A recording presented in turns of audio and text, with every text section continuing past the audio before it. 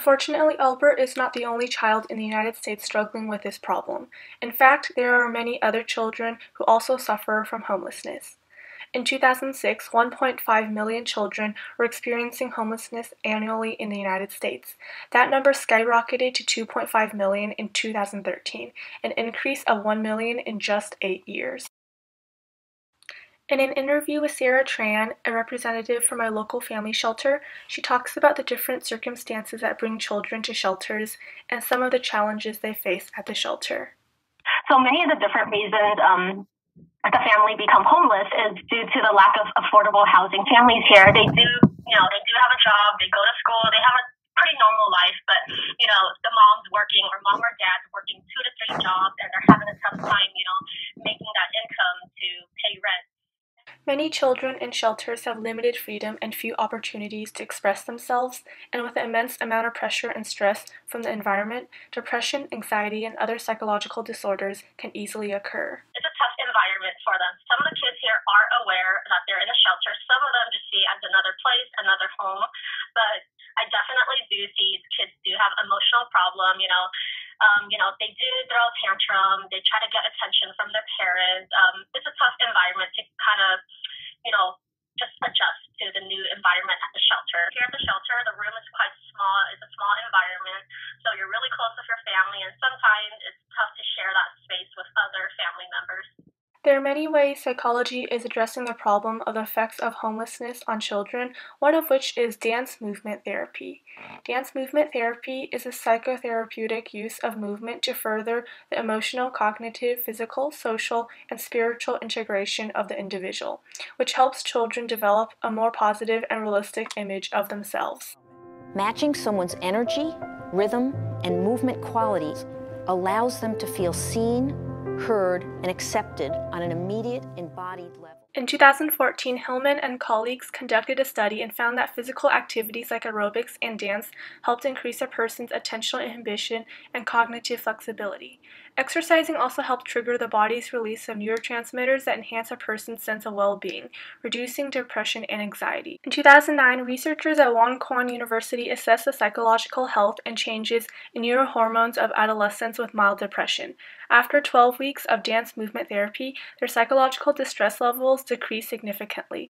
Jennifer Frank Tantia, a somatic psychologist and certified dance movement therapist who specializes in anxiety disorders at Lesley University, said, quote, Anxiety is a body mind split that is constructed in the mind but felt in the body. Dance movement therapy is a psychotherapeutic process that creates balance in the nervous system, ownership of one's own body, and agency through movement by turning anxiety into excitement and giving it some place to go. For the past three summers, I had the opportunity to volunteer at my local family shelter and teach ballet classes to the young girls there. Before I began teaching, I asked homeschool groups in the area for donations of leotards, tights, and ballet slippers so the girls could wear ballet attire when dancing. They couldn't stop twirling and leaping to the classical music. During the first couple classes, the girls were shy and quiet, but with each additional class, they gradually became more playful and open and would sometimes even joke with me. Dancing gave them a chance to relax and forget about the stressful environment of the shelter. With dance movement therapy, children in shelters who are susceptible to depression, anxiety, and other psychological challenges can have a way to relieve stress and feel more confident about themselves. Starting dance, reading, science, and other activity clubs at family shelters can help improve a child's psychological health. The possible solution of using dance movement therapy to help improve the mentality of children living in shelters is a simple one, but the effects of helping them will follow them for the rest of their lives.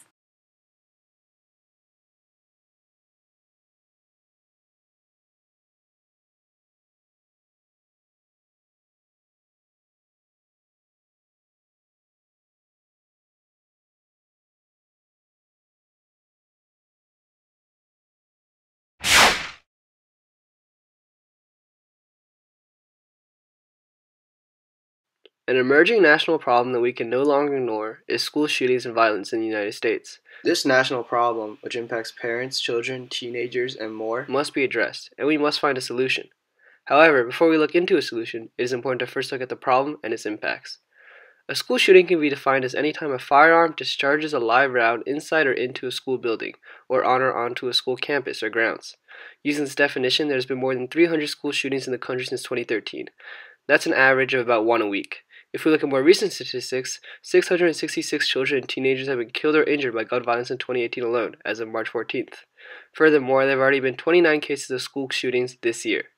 Not only are too many children and teenagers being killed by this problem, but witnessing survivors can also go through long term psychological and physical effects. For example, students can display anxiety and changes in both how they approach interests and relationships. Academic performances can also drop, in addition to survivors being resistant to returning to school, as students can see the learning environment as unsafe and threatening. Physical effects can include headaches, stomach problems, and sleeping problems, such as nightmares. Also, although the effects of school shootings and violence on teachers and staff is often overlooked, they are impacted by this national problem too. Many teachers and staff lose their lives protecting their students during school shootings, and survivors might suffer from PTSD, which causes withdrawal and burnout. Teachers and staff might also become emotionally unstable, which could lead to divorce and general unhappiness. One solution that is being looked at is changing gun laws to be stricter. Proponents of this solution might point out that 79% of students involved in a school-associated homicide or suicide using a firearm obtained that weapon either from their home or the home of a friend or relative. Another shocking fact is that 1.7 million children live with unlocked, unloaded guns. Although changing gun laws could definitely be a viable solution, another solution could be found in psychology. More specifically, what is the role mental health plays in school shootings and violence? Psychological science can contribute toward a solution to this growing national problem by doing further research in behavior and mental health.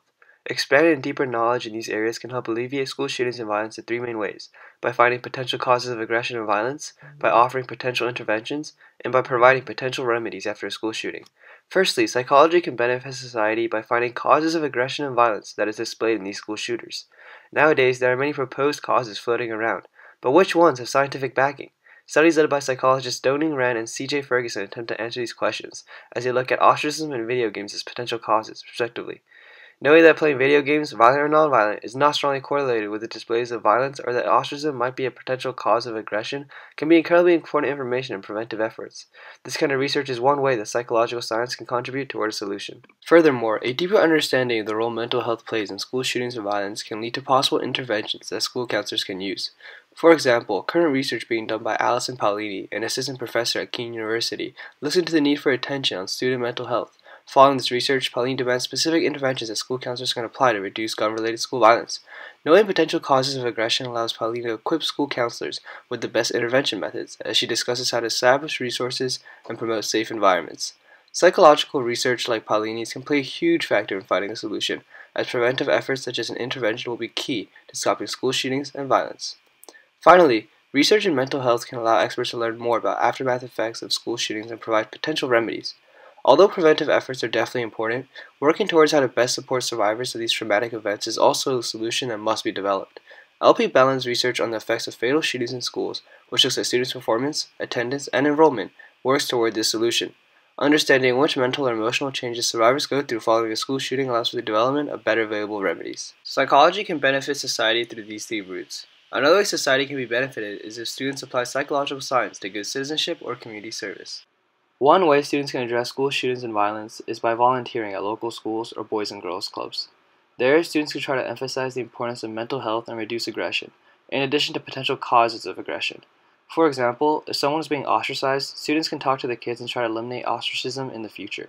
By doing this, students can improve quality of life for many children, in addition to heavily reducing the chances of a school shooting occurring, as acts of aggression would diminish. This would be especially impactful if done with younger kids, as their development will be positively affected. Through this type of community service, students can possibly change an individual's life, if not a whole community.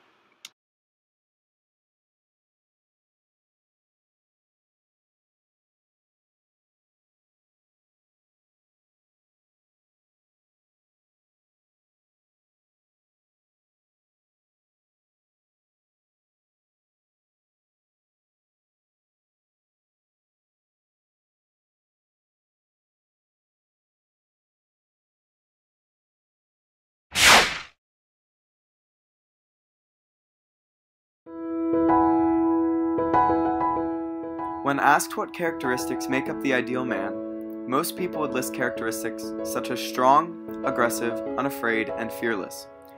While at times these traits can be very beneficial, men in society on a global scale tend to be lacking qualities such as compassion, empathy, and the ability to show emotions. Boys are told from a young age that they need to stay tough and that they shouldn't cry, but what does this do to them? Are we unknowingly raising generations of men who are so afraid to show their emotions that it causes them to hide who they truly are and avoid getting help? In 2008, Eric Anderson published a research paper that pointed to some very interesting topics regarding masculinity. His research focused on football players and male cheerleaders who once played football but didn't make their college teams. While these men reported enjoying being a part of a team, he found that they would not showcase any signs of being involved in a so-called feminine sport. Rather than wearing spirit wear that had something about cheerleading on it, they would wear jerseys and university clothes. The fear of seeming less masculine than their peers causes these men to hide a significant part of who they are as a person. A group of Swedish researchers in 2015 studied the effects of masculinity on adolescent boys. Their research concluded that while these boys have the same emotions and feelings as girls, they would never show any signs of it for fear that they would lose respect from their peers. Healthily expressing emotions is necessary for a person's well-being. Interestingly, some of these boys actually did go to a therapist to receive help for their problems. Once they received help, they reported feeling much better. Opening up to a therapist is seen as a better option than talking to peers because of the aspect of confidentiality. They don't have to worry about what their friends may think if they are no longer seen as strong, or as a has everything together kind of guy. All of this research concludes to one thing. Society is telling men they need to be this masculine figure, but this idea is causing major issues. Men are more likely to use illicit drugs, commit crimes, and commit suicide than women. This is the result of trying to be something that they are not. Through these psychological studies, awareness is finally being brought to the issue at hand. Through more awareness, more men will be more comfortable reaching out to a male friend, get help, and accept that it's okay to be vulnerable. The best way to help the people around you is by opening up. If you, as a man or a woman, open up to the people around you, they will be more inclined to do the same. Make an effort and notice if someone is dealing with a problem. Kill the stigmas. Realize that this macho man persona is not how men should be perceived today, and that having a moment of weakness will only make you stronger in the end.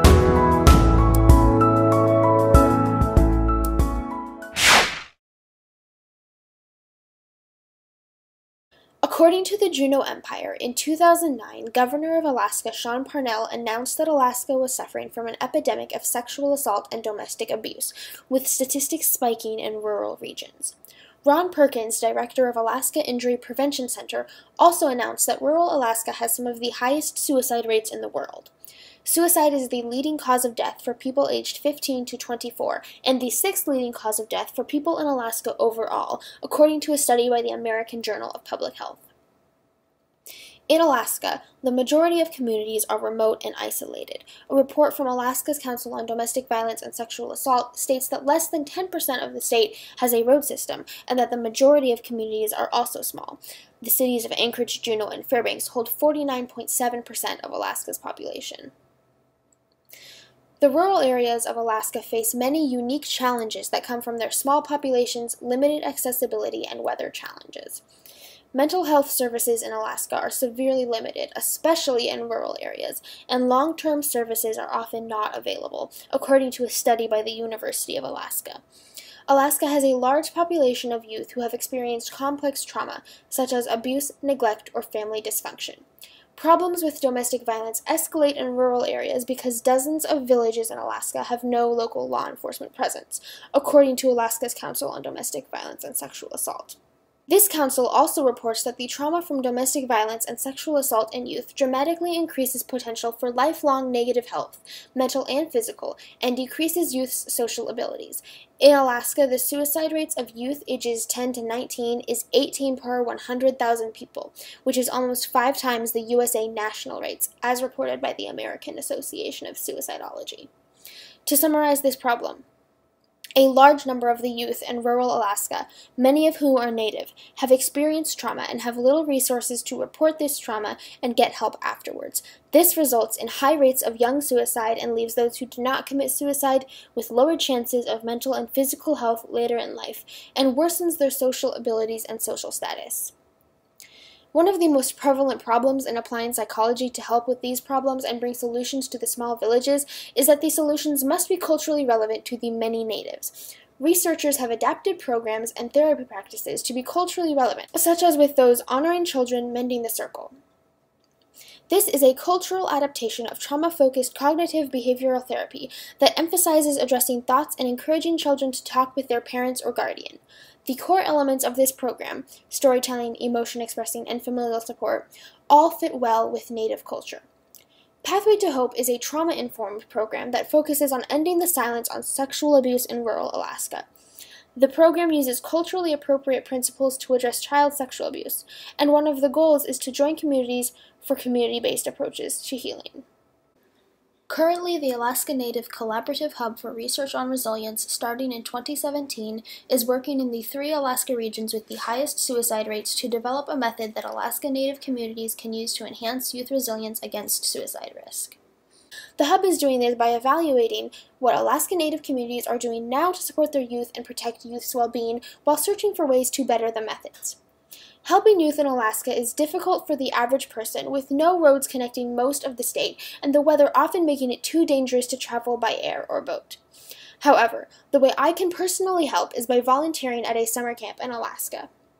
After working at a summer camp in Alaska for several years and meeting many children from rural areas and seeing how camp affects them, I know that the camp experience helps many people. There are many aspects of camp that help kids develop resilience and social skills. Summer camps help kids develop friendships with peers and new relationships with adults. Kids also experience situations where they have more independence than they do at home, which helps them in decision making and feeling in control of themselves. Team building exercises help children learn to work together and take responsibility. Many aspects of camp also give kids a sense of belonging, such as team songs and chants. Summer camps also give youth the chance to connect with camp counselors, people who have the status of a teacher and role model, but whose job it is to listen to and talk to children. I know from personal experience, both as a camper and as a volunteer at a camp, that summer camps provide a unique and effective atmosphere for campers to make friends and build up independence and both life and social skills.